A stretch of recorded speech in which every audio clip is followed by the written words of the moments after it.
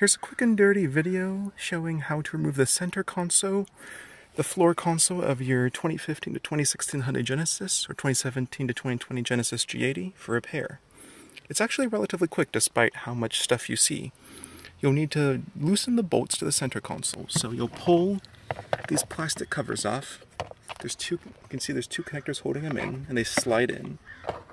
There, there's then a bolt on either side, so pull off those plastic covers and remove the bolts.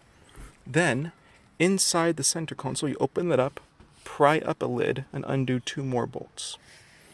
You'll then need to release the connectors.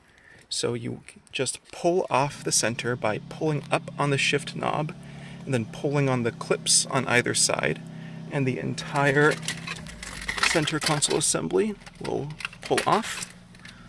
You can then disconnect the two connectors to it you can disconnect the two AV connectors to the little sliding box right here.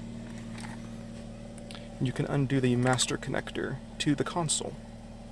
Then the entire center console will just pivot up and you can pull it away.